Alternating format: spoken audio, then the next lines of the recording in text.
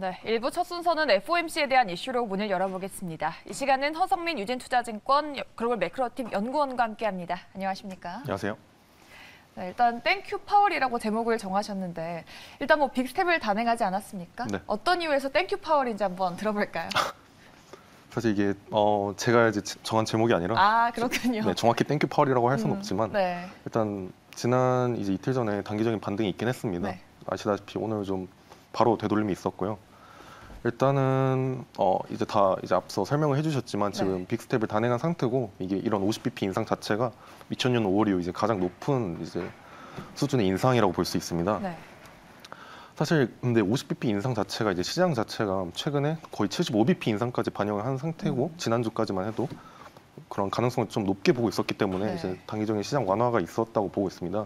사실 시장이 전혀 예상하지 못한 발언을 파월 의장이 전혀 하지를 않았어요. 거의 시장을 거의 안정화시키겠다는 의지가 있다고 보일 정도로 음, 하지만 역시 어, 단기적인 금리 인상 기대치는 유효하다. 왜냐하면 50bp 인상이 연속 2개월간 사실 진행을 하겠다고 말한 상태이기 때문에 음. 이 파월 의장의 발언에 뉴욕 증시가 상승하고 나스닥은 특히나 날아갔었습니다. 이제 중요한 게 앞으로의 금리 인상 속도겠죠. 이 다들 giant step이라고 불리던 75bp 인상을 주목을 하고 있는데요.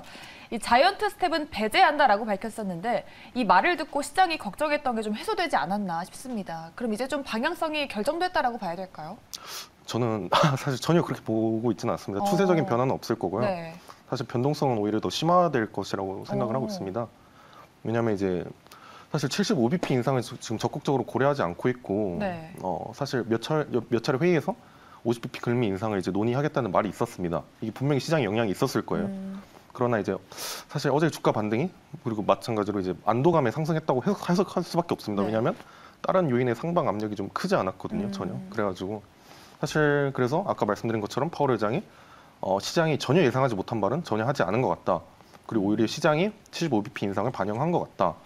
다만 사실 이렇게 FMC 회의 이후에 단기적으로 불확실성이 일부 해소되면서 시장이 안정화되는 게 좀 흔히 있는 일입니다. 네. 그리고 어제 같은 경우 이제 주가가 바로 반등을 하고 이제 국채 금리가 하락하고 그리고 달러 역시 하락을 하면서 전형적인 이제 안정화적인 국면이라고 뭐 해석할 수 있을 정도의 그런 좀 양상을 보였는데요. 네. 제가 이제 어제 해석한 게 이제 미국 국채 금리가 이제 하락을 했지만 어제요. 오늘은 다시 올랐지만 네. 이제 사실 curve steepening이 진행이 됐습니다. 음. 이제 단기물 위주로 이제 급락을 했고요. 그리고 그런 이제 QT 여파, 그런 quantitative tightening 여파에 따른 이제 flattening unwinding으로 curve steepening이 좀 진행이 됐는데요. 음, 다만 이제 단기적으로 불확실성이 해소됐으나 좀 저는 이제 추가 금리 하락폭은 제한적일 거라고 보고 있거든요. 지금도 네. 이제 사실 추가적인 하락은 저는 없을 거라고 보고 있습니다. 그래서 주식 반등폭 역시 마찬가지로 제한될 수밖에 없고 사실 지금 오히려 상방 압력보다 하방 압력이 큰 상황이기 때문에 여러모로 우리가 떨어질 그좀 변동성이 좀 심화될 가능성이 오히려 높다고 보고 있고요.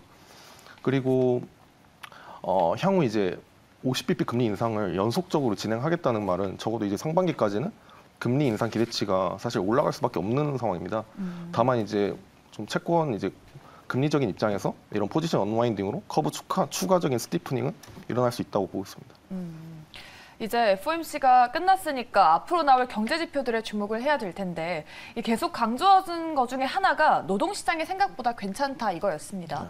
이 노동 수요가 강하다는 걸 좀 많이 강조를 하면서 인플레이션 리스크를 아주 주의 깊게 보고 있다라고 했는데 앞으로 발표될 경제 지표들이 미칠 영향도 짚어볼까요? 네. 그 말씀하신 것처럼 사실 가장 이제 미국 이제 지표에서 가장 중요한 게 사실 고용이랑 물가랑 좀 ISM, PMI라고 볼 수 있죠. 그래서 저- 저는 이제 아무래도 어, 지금 고용 보소, 보고서 와 물가가 지금 당장 앞두고 있는 만큼 이런 헤비한 지표들에 좀 주목을 할 필요가 있다고 보고 있고요.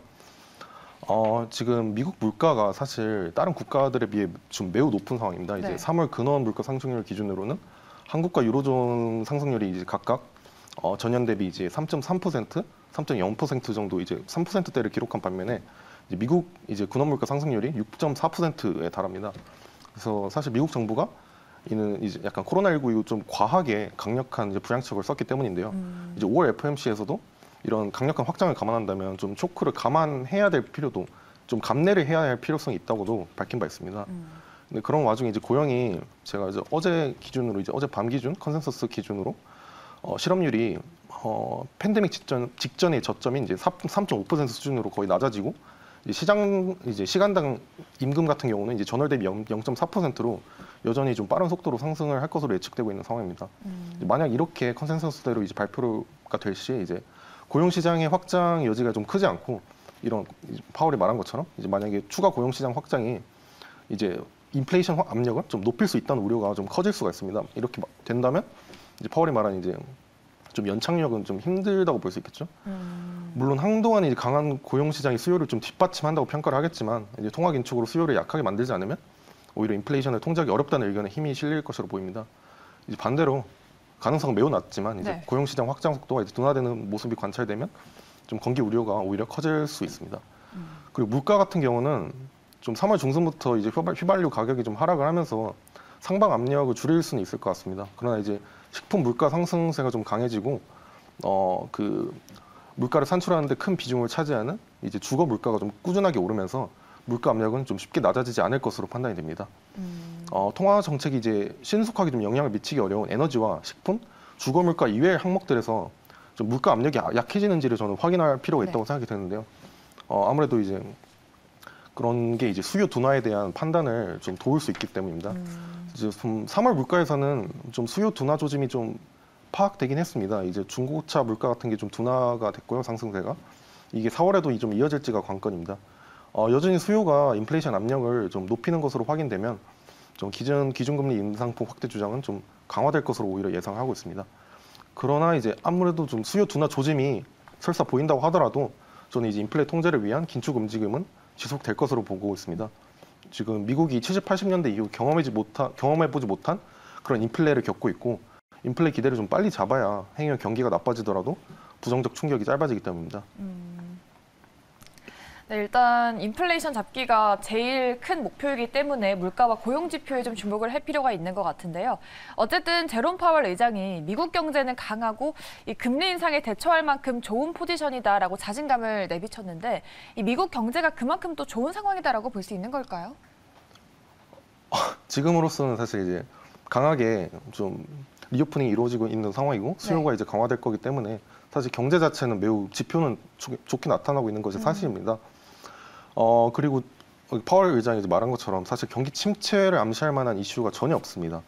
그리고 가계와 기업의 자재- 재정 상태도 이제 양호하고 음. 초과 저- 저축이 이제 존재하고 노동 시장 자체가 너무 강해가지고 사실 침체라고 보기는 음. 어려운 상황입니다. 하반기에서도 사실 예상하기 좀 어려운 상황이고요.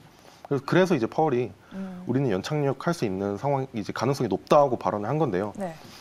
어 근데 사실 연준의 이제 발언에 이제 대해 완전히 신뢰를 할 수 있느냐는 좀 다른 문제라서 이제 연준의 목표 자체는 어쨌든 지금 인플레 기대를 최대한 빠르게 잡으려는 겁니다. 그래서 위로 위한 근거로 경기 침체 가능성이 낮다고 말해야 되는 것은 사실 당연합니다. 그렇지 않으면 그 논거가 맞지 않기 때문에 음. 사실 그래서 불확실성이 이제 완벽히 해소되지 않았고 오히려 저는 향후 변동성이 지속될 것이라고 보고 있는 겁니다. 이런 통화 긴축에도 불구하고 좀 경착륙을 피할 수 있고 연착륙을 할 수 있다 연말까지 그런 연준의 연준의 전망을 시장이 좀 크게 믿고 있는 그런 상황이 아닙니다. 이 CNBC 선물 선, 그 설문조사 기준으로 네. 그런 2%, 2% 목표치 인플레이션 2% 목표치를 위한 연준의 노력이 경제를 오히려 침체로 이끌 것이라는 응답이 57%에 달했습니다. 음. 사실 시장이 어, 단기적인 반등을 했지만 사실 불확실성이 일부 해소된 것이고 시장이 지금 어, 연준의 이제 스탠스에 대해서 좀 크게 신뢰를 하고 있는 상황은 아니다라고 말씀드릴 수 있겠습니다. 네. 어, 이에 따라서 이제 big step 50bp 인상을 결정했고 앞으로도 추가적인 금리 인상이 좀 기정사실화된 것 같습니다. 이제 중요한 게 남은 다섯 번의 회의에서 몇 번이나 금리를 올릴지가 관건인 것 같은데 앞으로의 이 금리 인상 종착점 좀 어디로 보십니까? 어, 사실 연말까지 지금 200bp 인상이 예상된 상황이죠. 음, 어, 그런 상황에서 좀 종착점 제가 이제 말씀 이렇게 말씀드리면 안 되지만 음.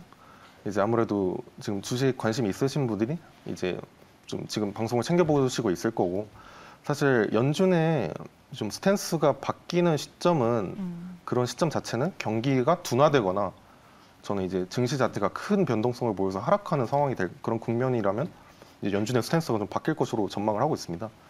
어, 사실 주식 시장이 지금 상방 압력이 있다면 네. 사실 연준 속 저희가 기대하는 건 긴축 속도가 완화되는 거라고 생각을 하고 있는데 지금 반대로 생각하면은 긴축 속도가 완화되지 않으면 증시가 반전되지 않을 것이고 그리고 연준이 그런 스탠스를 바꾸는 것은 사실 정말 경기 둔화 조짐이 보여져야 된다는 건데 네. 경기 둔화 조짐이 보인다는 것 자체가 사실 주식에는 하- 좀 하방 압력으로 작용할 수밖에 없겠죠.